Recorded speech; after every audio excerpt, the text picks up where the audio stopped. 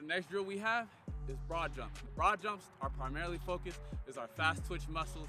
We're going to engage our leg and our core muscles. Now, as an athlete and anyone that works out, we have to develop that horizontal power and stability.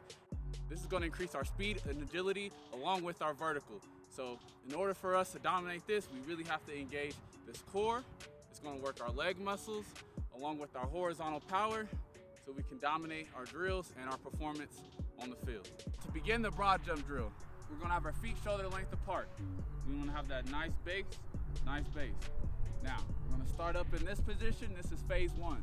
So this is how we're gonna engage our power for the horizontal jump.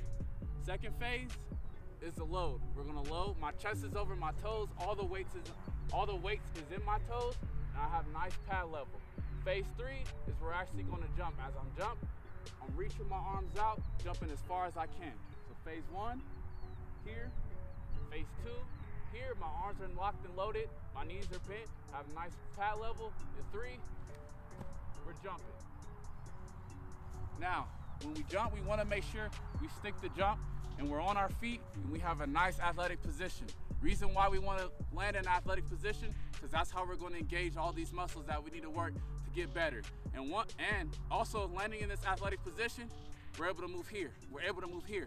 We're able to move here. We're able to move here. Each and every drill, we have to be in an athletic position from start to finish.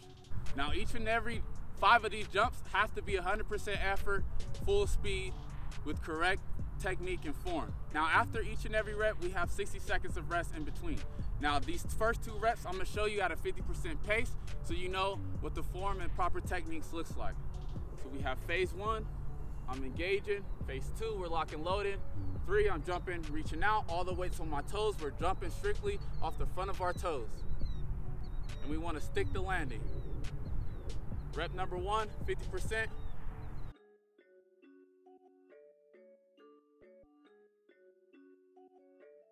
Notice how I stick and I'm in an athletic position. We don't want to be too high, we don't want to be low. We want to stick, we don't want to stumble. So each and every rep, you should stick.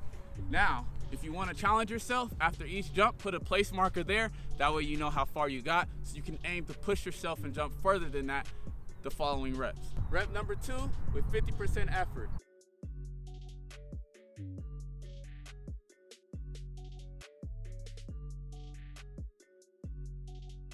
Rep number one out of the five reps, so this is the first rep out of five reps, 100% effort, full speed with a proper technique.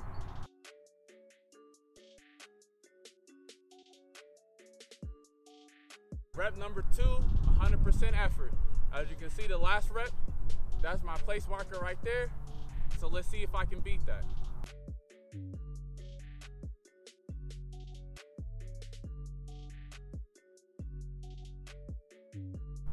Good, so as you can see, I got a little bit further. About a couple inches, probably about like three, four inches, I got a little bit further. Continue to challenge yourself, continue to push yourself. Rep number three, 100% effort.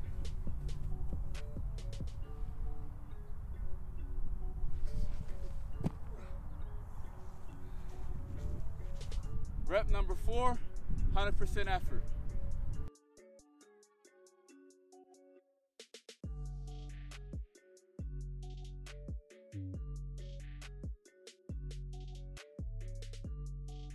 Last and final rep, rep number five, 100% effort.